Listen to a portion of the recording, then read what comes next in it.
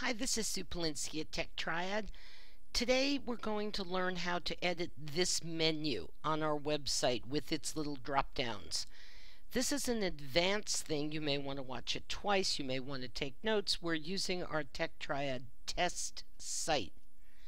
First thing I have to do in some cases is connect. Because we have multiple sites and I just opened Contribute, I'm not connected to anything. I chose this as the site I want to edit. I click connect and this connects to the server and enables me to start editing. Well, what we did in our last screencast about editing the footer holds true for editing the menu. I have to know where my menu is. I have to get to the menu page. So the first thing I'm going to do is erase the home page and I'm going to type includes. That's the folder that most of our modern websites, so the last two, maybe three years, that's where your menus and footers are. And it usually has the very simple name menu.html. Now, there are some sites that use quick links, and they're going to have a ton of menus in there. And we're, this site has only one. We're starting with the simpler one. But the menu that controls the entire site on almost every page is called menu.html and I hit enter. I could have pushed the go button.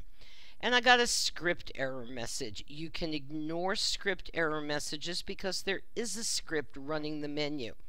And you can just say no, doesn't matter. Uh, now I'm going to edit the page.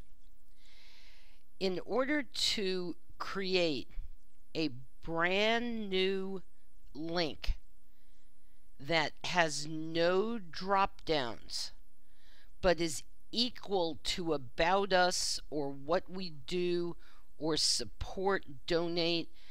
Um, in order to create a new what we call top level menu item, I click after the item that I want the new link to go under. If I want it to go under contact us, I click after contact us. We're going to do an easy one first. I know y'all want to know where you click to get after one of these. But after what we do, I simply press enter. And by doing that, I'm giving myself the opportunity to put in a new top level link. So I'm going to call this Sue's new link. Now it's not linked to anything. I have to link it if it's a menu item. So I select it and I create a link on my website, I browse to a page and I don't know what page to use. It's on my website. I use the choose button. I open up my website and I want to, we're making believe right now. Um, we're going to um, link it to something in the about section. I know it's a duplicate link. Give me a break on this. I forgot to set up a new page click index.php. There's a preview of it. And what you see is left from the last time we edited this in a workshop, so don't worry about what it looks like. It'll look like your page, and I click OK.